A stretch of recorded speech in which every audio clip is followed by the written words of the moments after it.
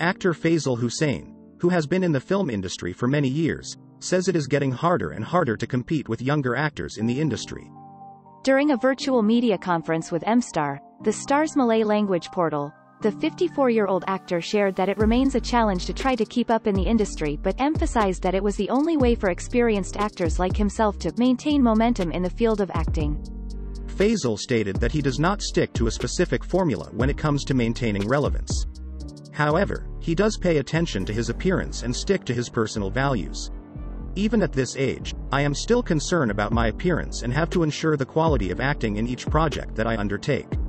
To be honest, it is not easy to compete with so many actors in this industry. I have to learn to evolve with the time, he told MStar. Faizal is currently starring in the new 12-episode drama I-Tanggang which premiered on Astro Ria on September 13th. The series, directed by Wan Hasliza Wan Zainuddin, follows Khalil Rayan, a cancer patient who explores his family issues that will tug at the heartstrings of viewers. The show will also touch on the subject of mental health. The series also stars Sherry Merlis, Nadir Nasser, Sofia Jane and Rashidi Ishak. The actor also told MStar that he is proud to work alongside a stellar cast. He added that this drama is different from the shows that are available on TV currently. Apart from shining a light on the current reality, this series also discusses the ongoing mental health issues faced by many, he said.